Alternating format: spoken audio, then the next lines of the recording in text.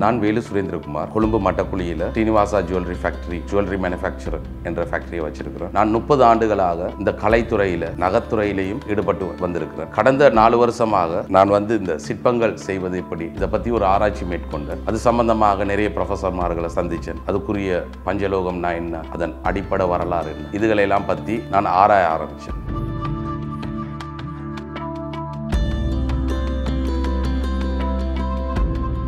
இன்று ரெண்டு சாதனையும் படைச்சிருக்கிறேன் அந்த விஷயத்தில். ஒன்று செல்லப்பாட சிஷ்யரான நல்லூர் யோகர் சுவாமியை உருவாக்குன்ற பாக்கியம் எனக்கு கிடைச்சது. ரெண்டாவது புத்த பகவான் ஒரு சிலையை வந்து ஒரு பக்கத்து செம்பும் ஒரு பக்கத்து பித்தளை. செம்பும் பித்தளையும் ஒன்றா இணையாதுன்றது சயின்டிஃபிக்கல் ஸோ அதை நான் ஒரு டெக்னிக் யூஸ் பண்ணி இணைச்சி செய்திருக்கிறேன். காஸ்டிங் மூலியமாக தான் ஒட்டி அல்ல. ஸோ அது ஒரு சாதனை.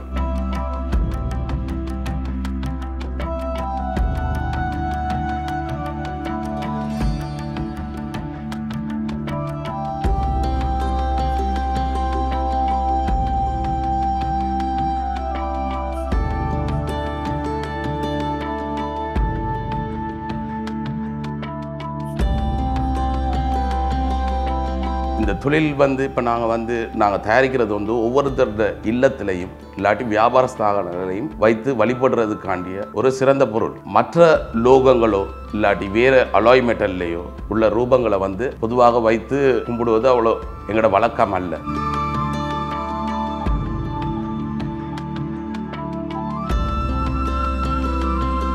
நிச்சயம் ஒவ்வொரு வீடுகள்லையும் ஒவ்வொரு வியாபார ஸ்தானங்களையும் சிற்ப சாஸ்திரப்படி வந்த சிலைகளை எல்லாருக்கும் சேர்க்கணும்ன்றது தான் எங்கட ஸ்ரீனிவாசா கம்பெனின்ற ஒரே நோக்கம். ஜனவரி மாதம் இதை வந்து நாங்கள் எங்களோட ஸ்தாபனத்திலிருந்து விற்க ஆரம்பிப்போம். ஆன்லைன்லேயும் மற்றது டீம் மார்க்கெட்டிங்னு சொல்கிறோம் ஹோல்சேலாக கொடுக்கறதுக்கும் யோசிச்சு கொண்டிருக்கிறோம். அதுக்காண்டிய வேலை திட்டங்களும் நடந்து கொண்டிருக்கு.